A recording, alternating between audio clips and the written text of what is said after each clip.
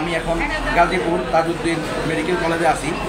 এখানে এই যে গত তিন দিন ধরে মেসাকার চালাইতেছে সুব্রত কুমার বালা নামক কাশিমপুর হাই সিকিউরিটি হাই সিকিউরিটির জেল সুপার। সে সেখানে নির্বিচারে আমাদের বন্ধুদেরকে বিশেষ করে যাদের দাড়ি টুপি আসে, নামাজ কর্ম পড়ে, এমন লোকদেরকে গুলি করে হত্যা করতেছে, অন্যায়ভাবে। আমরা এটা খবর পেয়েছি বিভিন্নভাবে ভিতর থেকেও আমরা খবর পেয়েছি বিভিন্ন মাধ্যমে। কিন্তু আমরা যখন আমাদের ভাই রফিকুল ইসলাম মাদানি সেখানে জনতাদেরকে নিয়ে সেখানে গেছে হেফাজত ইসলামের পক্ষ থেকে, তখন আর্মি সদস্যরা আমাদের ভাইদেরকে বলে দিয়েছে যে, সুব্রত কুমার পলাতক, সে এখানে নাই, আপনারা চলে যান। কথা বলার পরে আমার ভাই রফিকুল ইসলাম মাদানি সমস্ত মানুষকে সে স্বাভাবিক হওয়ার জন্য বলে তাদেরকে নর্মাল হয়ে সবাই যাতে চলে যায়।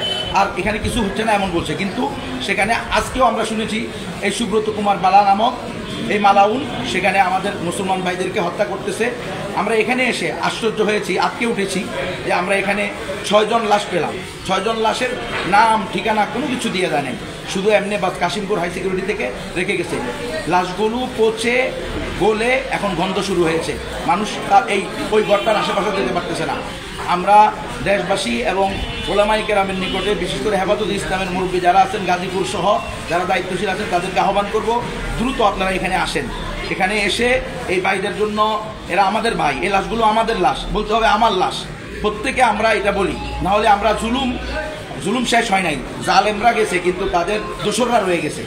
এই সুব্রত কুমার বালা নামক ইস্কনের সদস্য, ভারতের পাঁচাটা গোলাম এরা এখনও মুসলমানদের উপরে জুলুম অত্যাচার চালাইতেছে।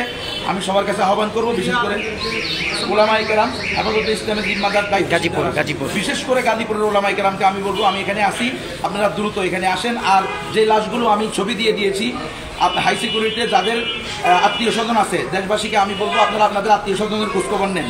যেভাবে পারেন ফোনের মাধ্যমেও নিজে এসেও, যদি আপনার আত্মীয়কে না পান, দ্রুত এখানে এসে আপনার আত্মীয়কে সমাপ্ত করুন। হতে পারে এটা আপনার, আমার আত্মীয় লাভ হতে পারে। আল্লাহ তালা আমাদের সকলের জন্য কল্যাণের ফেসলা করেন, আমিন। আসসালামু আলাইকুম রহমতুল্লাহ।